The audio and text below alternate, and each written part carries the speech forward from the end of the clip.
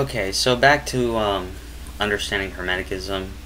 Um, Hermes Trismegistus is the one who founded um, Hermeticism, or Hermes, or Thoth. Um, the Egyptian god Thoth and the Greek Hermes um, are said to be one and the same. Um, so, some of the key things about Hermeticism. Um, it is the oldest known spiritualism. Um, it dates back to the ancient civilizations of Atlantis, Lemuria, and Mu.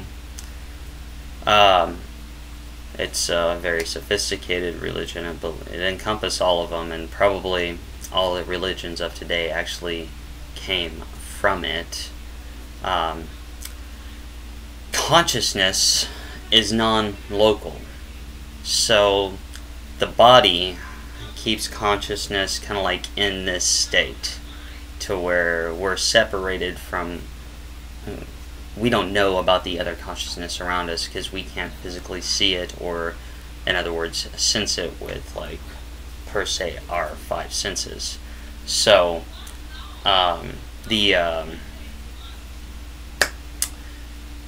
but if we were to leave our body like when we die we would just go into all the other consciousnesses which combine into one and that is called the all what most people say, or what most people would call God, which is a word that I stay away from. Um, so, um, the uh, so so we're we're all one spirit, and this gives us the ability to like. Um, if I wake up or I have a thought or not like wake up as in, oh, I'm sleeping and I wake up. Wake up as in conscious, consciously wake up. So I can cause that to happen to somebody a thousand miles away. Um, if I have the same idea, I can cause that to happen to somebody a thousand miles away. It could be people around me too. You know, I can get it in their head and stuff like that with just my thoughts. I could sit in this room and meditate positive vibes forever, or as for as long as I live. But, um, and it would change the world. Everything is about frequency and vibration. Uh, well, not everything, but the majority of the things that we denote as science. Um, so, the positive thoughts reverberate into the world and not only will it change your life, but it helps change the life of somebody else. And I know when a lot of people think about hermetics, they think of secret societies and, uh, um, you know, all those bad secret societies. I, I, don't really have to say them, you all know who they are. Um, and yes, that is true. A lot of hermetics is in those secret societies. But I do not believe that way. I found this on my own. I'm not a part of like any special practice with any organization or anything like that. Um, so, yes, hermetics can be used for dark, evil purposes, but it can also be used for really, really good, positive purposes and it's those positive pur- purposes that you should learn and understand hermetics so you can transcend this place and and i'm going to help through me talking i'm going to show how you actually do transcend and um, but let's get to know everything else first um, so, back to where I am. Okay, so consciousness is non-local, it's all around. We're all one. Okay, which is going to bring us into the areas about us getting to know how Hermetics is divided, or Hermeticism is divided. Okay, so It's composed of alchemy, astrology, and magic. Let's start with alchemy. Alchemy? No, no, no. Let's start with. Is it alchemy that I'm starting with? Okay. Yeah, it is alchemy. Okay. Alchemy is an operation of the sun and. Uh,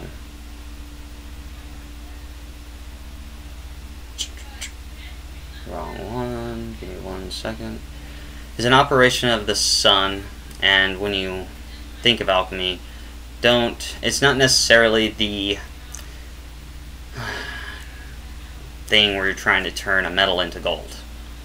Um, it is a lot related to mercury, and I'll tell you why in a second. But um, um, the whole idea is to turn the mercury into gold. And but let's just think of alchemy for a second. Carl Jung is the best person to read on this topic. Like if you want to get to know this topic, you want to study Carl Jung. And I might do some videos on this too, just not the astrology. And I also might do videos on the positive thinking part um, because of how this is divided. But right now I'm kind of doing an overall summary. Um, the ego the anima, the animus, the shadow, the persona, the collective and individual unconsciousnesses. This is what I'm talking about on alchemy. Knowing your dreams, even writing them down, your subconscious thoughts, or what your mind is trying to tell you when you're asleep, because you go into a different reality. Know the progressions of those dreams, but just not only because the progression of the dreams is going to relate to the outer you. Um, also, take an example of your life. Know what figures you might consider your animus if you're a man, or if you're a female. No, no. If you're a male, know what figures you might consider your anima. And, you know, you, you also have animus figures, so if you can find those too. And same thing for the for the female, except you want to get to know your animus, and um, you'll have animus too. Um, but the, the key is always the opposite, and it's a uniting of the opposites. And the whole process should lead you to some kind of great kind of suffering on the inside, some kind of truth that once you accept it's really going to disturb you um, but that's just because you're not used to knowing this way. You're believing the illusion right now that's diluted in your mind. Um, and then, you know, eventually you'll rid yourself of your ego. The ego, of course, is like the greatest deceiver. Um, it, its name is you. It pretends to be you it wants you to do everything. But the more that you're attached to things, the more the ego is in control. And the more you let go, the more you rid yourself of the ego. The ego wants control in any situation that you fear, even death itself. You know, that is the ego telling you, man, you cannot die, you cannot die, you cannot die. What happens when you die? You become a part of God. Or, like I said, I don't like that word, but the all. And I'm going to start using the all for now. Um, and if anybody has any questions about it, I'll just tell it to them down below or whatnot. But, um, so, Carl, Carl Jung is one of the main key things that I would read in order to understand alchemy and the way how it's used to help further yourself. Because if you if you work on yourself you're helping everybody else. I mean that's just kind of like how it falls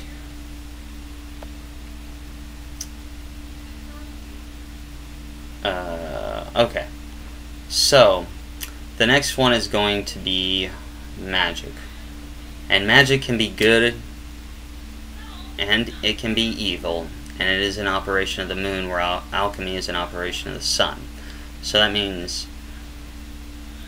alchemy is more known or is more of the light, whereas magic is more of a, the subconscious, the the hidden kind of realm.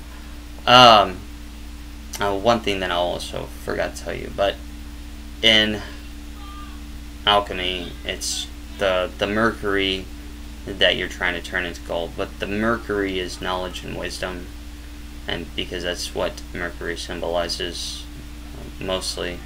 So you want to gain a lot of knowledge and understanding because the more knowledge that you gain, the more truth will be revealed to you. Um, and it's easier to go out through the process, you know, study a little bit of Hebrew, understand why math and Hebrew are related, or, um, you know, just study a lot of the ancient wisdom. Um, know thyself.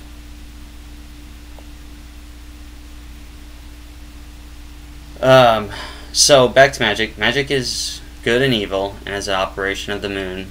Um, the good will use magic um, from the mind, like positive thinking, positive thoughts, thinking of the outcomes to come, and they'll use like the natural elements of the earth to heal. Like you know, a, a good example of this is um, um, cayenne pepper. Um, I use cayenne pepper a lot. It, it boosts the immune system. Um, so I put it in my eggs every morning, and I always have eggs or some form of protein in the morning because you want to have protein in the morning because it gives you the energy to prepare your day. Um, so I'll put a little cayenne pepper in my eggs, and I'll use that to eat. It, if you ever have a sore throat, put some cayenne pepper in some water. Um, put it in your mouth, gargle with it, and swallow the last part of it. It'll cure your sore throat, guaranteed. It's doctors and everything have even studied the effects of it and say it's so. So much so that the main spice ingredient in it, I don't know how to pronounce it right, like caspias, I forget what it's called, but um, they actually made a skin cream for it for certain situations for people. Um, so cayenne pepper, mm-hmm.